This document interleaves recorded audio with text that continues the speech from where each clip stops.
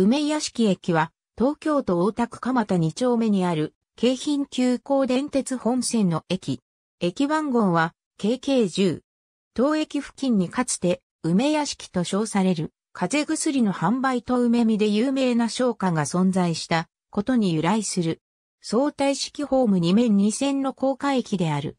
ホームは薄いピンク色の壁面になっており、一部に駅名にちなんで梅のイラストがあしらわれている。駅間自動放送は、1番線が関根正明、2番線が大原さやかが担当している。2012年4月9日から同年10月21日まで、大田区を舞台にした NHK の連続テレビ小説、梅ちゃん先生の主題歌である、 SMAP の逆さまの空をアレンジしたものを接近メロディとして使用していた。メロディはスイッチの制作で、編曲は塩塚博が手掛けた。2010年5月16日に上り線を高架化した際は、新、下り専用のホームを一時的に使用し、線路上に仮設ホームを設置していたが、2012年10月21日の下り線高架化により撤去されて、新、下り専用ホームとなり、新、上り線はすでに区体が完成しているホームを使用することになった。高架化前の地上駅時代は、駅両端に踏切がある関係で、ホームの有効長が4両分であった。1982年4月に6両編成の普通列車が登場すると、京急蒲田側に2両はみ出して停車せざるを得なくなったので、当駅ではドアが開かないドアカットを実施していた。2007年11月頃より6両で蘇生される編成のうち京急蒲田側2両のドアに当駅でドアが開かない旨を喚起する表示ステッカーの調布が順次行われていった。なお、上りホームは高架化によって有効長が6、両分とされたため、ドアカットは行われなくなった。上りホームにおいて、すべてのドアが開閉されることで、その換気表示に、下り方面の表記が付加された。ドアカット部の最も裏が寄りには乗務員が安全確認を行うため、業務用の小さいホームが設置されていた。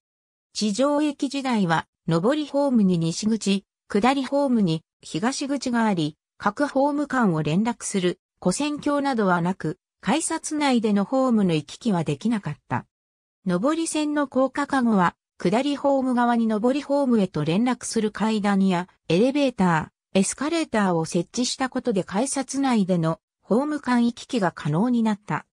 高架時に旧上りホームにあった西口は一旦閉鎖されたが、2012年5月13日から上りホームが本来の位置に移設したために再度西口が開設された。西口の再開設に伴い、地平の下りホームと高架の上りホームを連絡する階段、エレベーター、エスカレーターは閉鎖され、再度改札内のホームの行き来は不可能になっていた。高架化工事が2012年10月に完成し、ホーム長113メートルの相対式ホーム2面2線を有する高架駅となった。2013年には上下線の改札口が統合され、再び改札内のホームの行き来が可能になった。下り本線は、南隣の京急蒲田駅、下りホームが3階部分に設置されているため、当駅の先で、上り勾配が始まる。本線平和島駅6号土定期間と空港線、京急蒲田駅、大鳥駅間の連続立体交差事業は2017年3月で全て完了した。なお、駅前にはタクシー乗降も可能な最大福音13メートルの関連速道が整備された。高架化事業のために取得した用地を使い、京急は2020年秋、駅近くに3階建て女性専用シェアハウス、梅屋敷シェアを開設する予定である。2020年度の1日平均乗降人員は12,616人で、京急線全72駅中44位。